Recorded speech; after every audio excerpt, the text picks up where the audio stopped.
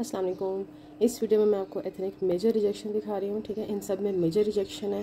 Rejection देख के measurement सुन के फिर आपने ऑर्डर करना है। क्योंकि रिटर्न एक्सचेंज कुछ भी नहीं होता मेरे पास। ग्रीन से स्टार्ट देते हैं। साइज़ है जी, इसका extra small shirt and trouser है।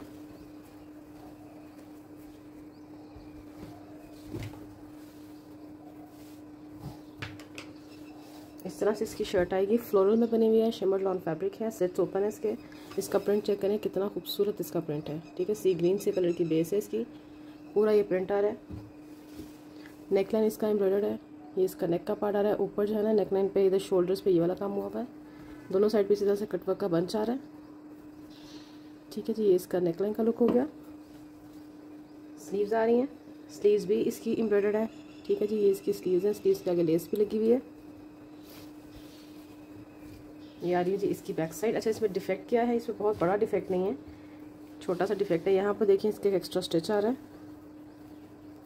ठीक है, इस तरह से इसका फैब्रिक जो था कहीं से डैमेज हो गया था तो यहाँ पे इन्होंने ये वाला स्टिच लगा दिया।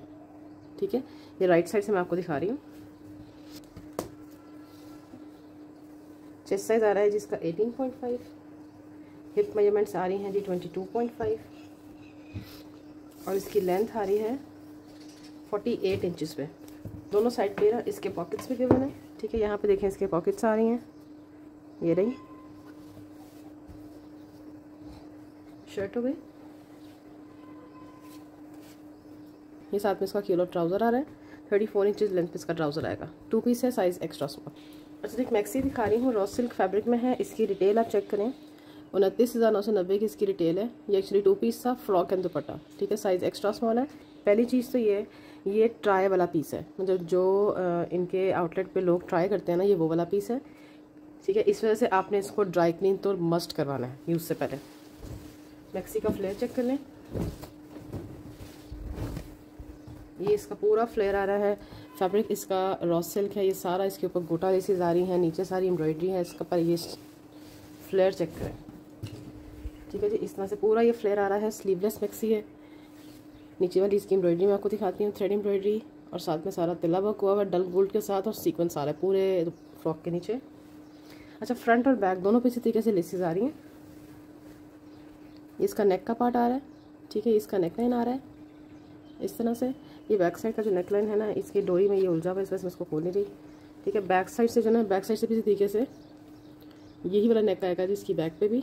स्लीवलेस आर्टिकल है मैंने आपको बताया था ट्राई पीस है। ये देखें, यहाँ पे ये डिओड्रेंट स्टिक आ रही है। तो ये आपको अच्छे से एक दफ़ा क्लीन करवाना है। इसका ज़्यादा है आई थिंक ये मीडियम वालों को भी आ जाएगा। और बैक साइड पे ये डिफेक्ट आ रहा है इसके। ठीक है? बैक साइड पे है, ऊपर की तरफ़ है तो फिक्सेबल है। इसको आप सिलाई लगा के इसके ऊपर आपके बाल आ जाएँगे तो पता भी नहीं चलेगा। मेज़रमेंट मैं आपको इसकी बताती हूँ। चेस्ट इसका काफ़ी ज़्यादा है। ये देखें ट्वेंटी टू चेस्ट आ रहा है इसका, लेकिन इसकी ये चीज़ छोटी है। ठीक है? तो ये स्मॉल टू मीडियम वाले कंसिडर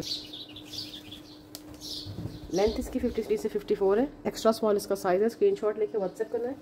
फ्लेयर इसका बहुत हसीन इसका फ्लेयर है। ठीक हो गया? आगे चलते हैं। शिफॉन की